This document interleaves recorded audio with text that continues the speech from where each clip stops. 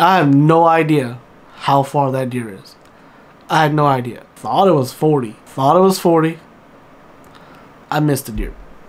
And then I watched it cross 300 yards of open field and disappear into my neighbor's yard. Guys, welcome back to Out of Work Outdoors. My name is Connery. Today, I'm going to go over my top five first time bow hunter top five mistakes that I made in my first season bow hunting.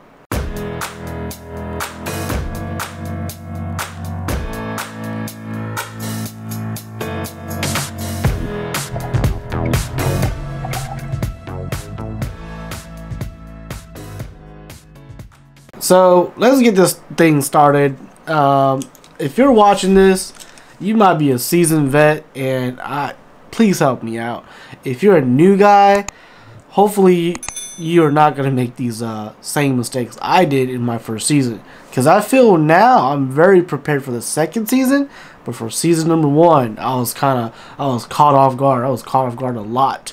And a lot of people on YouTube, a lot of people, the forums, a bunch of people on Facebook did not tell you all this stuff. At least I didn't get it. Okay, I I felt like going in, I felt like I was you know mentally prepared for what was gonna happen, but until it happens to you, you really don't know. I'm gonna go through these top fives, not in no particular order, but in the order that I caught myself slipping in during the season. So the number one is gonna be the first problem I had and number five is to be the last problem I had. And all these problems been solved. Feel very confident going into season number two. But season number one was high expectations, low outcome. Number the first problem I ran into was I felt that I had enough time behind the bow. The crossbow. I was using a crossbow.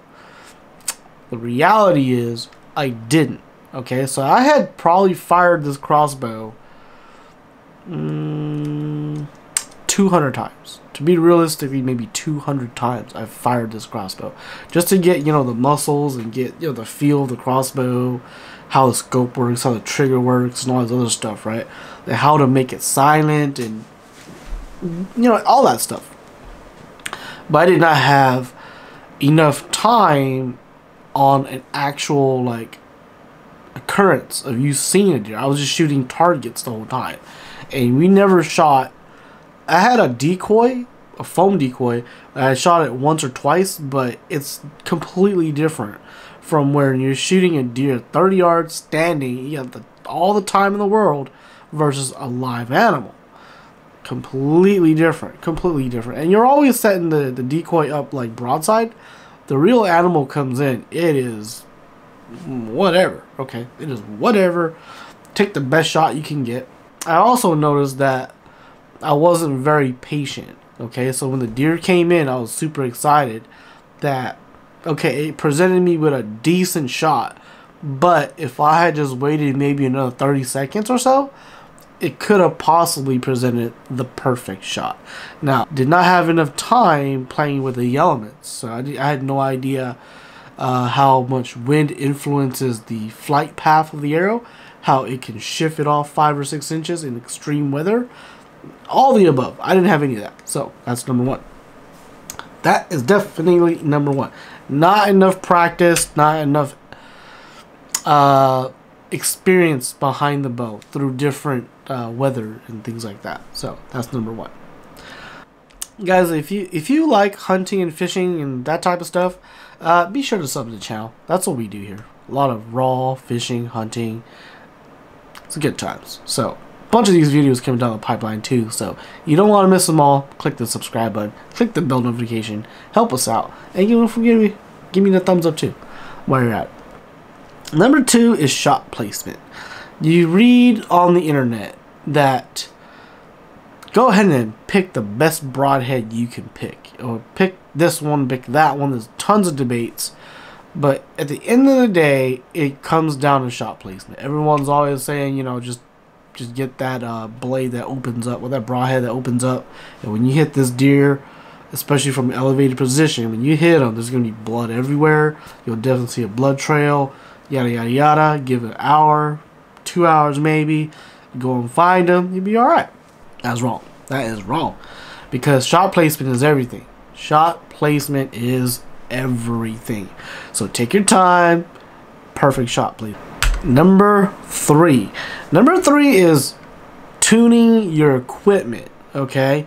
Tuning your equipment. So my crossbow likes a certain bolt. Okay?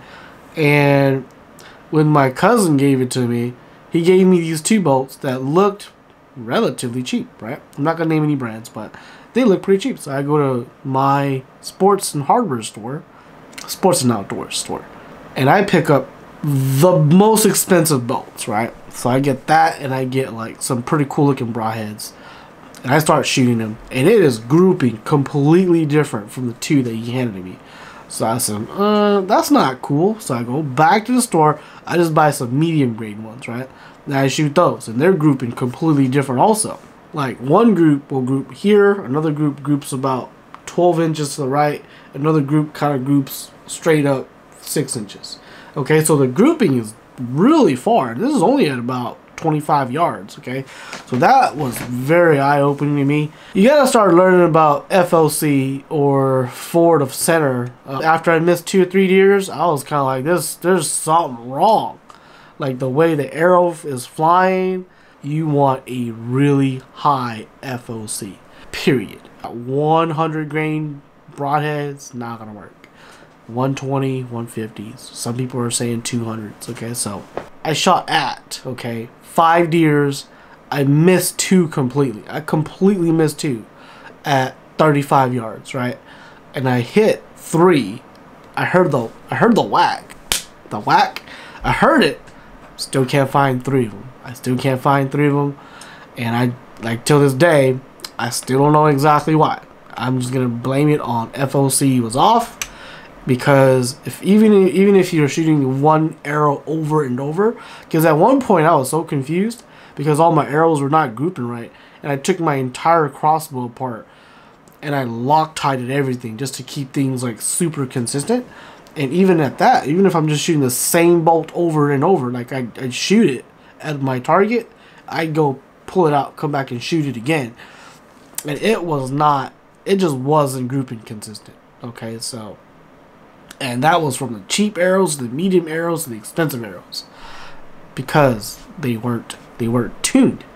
Okay, so that's something I learned the hard way. So then I started playing with uh, uh, different arrows because you know, different bolts. Some bolts come FOC real low, FOC like ten percent, but some bolts come FOC already fifteen, so that when you put your broadhead on it, it brings the FOC even farther out, right? That's how I explain it, okay? So when you put a 125, 150 grain head on it, it is like a 20% FOC, which is what I learned towards the end of the season. All my bolts are tuned like that now, and they're flying super consistent. I'm shooting like one inch groups at 20 yards. It opens to like a two inch group at 40. So now I'm doing so good but I learned all this towards the end of the season, so all the dumb deer are now smart deer, and they don't come around no more. And I, number four.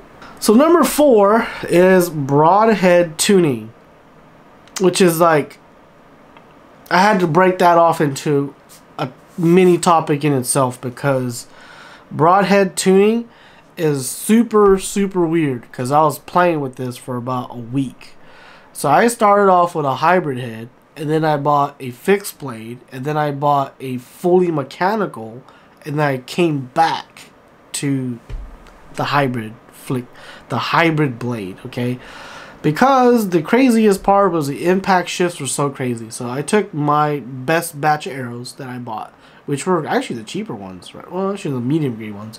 They were grouping the best with field points, right? So, so I would just say, mostly everybody was going to say, oh, don't worry about it. You know, field points and broadheads should hit pretty close to the same thing. Wrong. In my experience, there's a four inch shift in broadheads. When I put broadheads on my arrows, my arrows shift four inches to the right. I don't know why, but they would all shift four inches consistently to the right at about 20 yards. And I was just like mad because up until that point, until that point when I verified if the broadheads and the field points were impacting the same area, I never tested it. So I just zeroed on uh, field points and I screwed the broadheads on and I went hunting. And that explains why I did not hit anything. Or if I did, it wasn't good shot placement. Like I said, number two was shot placement. So from that point on, I got so mad. I said, look, I got four arrows or four boats. I'll put four broadheads on it. I'm going to shoot them all to my foam target. And I'm just going to zero with that complete package. And am I actually going to use all four arrows during hunting? And I took them back and I resharpened up all the blades, right? So that's what I did. And I felt super confident about that. But then I started getting into situations where the deer were kind of running around me and all this other stuff. And they kind of knew that I was in the general area. Or they didn't come to the feeder no more because there's a season for that. They don't come to the feeders. And I had to stalk and shoot deer. Two events. Two events I had to do that. Number five that I noticed about myself is as a new guy coming in, um, I didn't want to buy everything that I had to buy. I never bought that laser rangefinder. A lot of times I'm shooting these deers uh, at the deer feeder, right? 25 yards. During the rut, they didn't come to the feeder no more. They were just wandering, right? So I got this one afternoon where a buck comes out of nowhere and I know to the deer feeder, I know I've measured it, but I haven't measured it the other direction, right? So deer comes out of the wood line, and it's broadside, staring at me, looking dumb as possible, and I have no idea how far that deer is. I had no idea. Thought it was 40. Thought it was 40. I missed the deer. And then I watched it cross 300 yards of open field and disappear into my neighbor's yard. Kind of mad. I was kind of mad. I was kind of mad. I was actually really mad. And then I was like, all right, that will never ever happen again. There goes my day. So then I load up another boat and I continue to sit. And 15 minutes later, another buck comes out. Like, same exact spot. So I'm thinking, all right, so I missed at when I had the uh, drop compensator at 40 and I missed him high, so it's definitely not 40. So it's got to be 30. So I put it on, on 30. I fire again, and I. Oh yeah, whack! I got him. Takes off, and I give it an hour and a half. I try to go find him. No blood trail, nothing.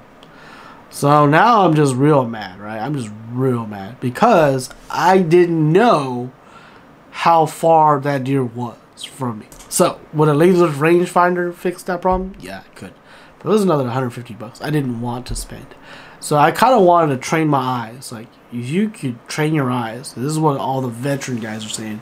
You need to learn how to feel out like range. If you don't, man, what if you forget your rangefinder that day? Completely, you completely jacked like I was, right? So, anyways, that's my top five. I had that was the first year I actually pursued deer uh, on my property. A couple weeks before the season, we already had you know corn and stuff like that, had cameras out and everything, and then I wanted to see what actually happened during the course of the season, and I was out there almost every day. I was almost almost every day. So out of the four months, I think four months the deer season was open, from October, November, December, and January, three and a half months. I would say I was out there 60 days.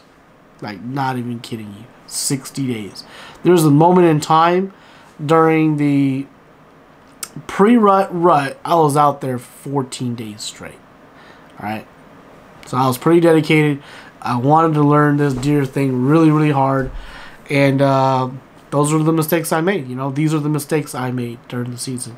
And I can promise you, those mistakes are not going to be made again next year. I saw a lot of deer this year. I've seen, I've seen like with my eyes, probably probably 30 to 40 deer. Probably 30 to 40. A lot of them were out of range. We're, we're, we're bow guys.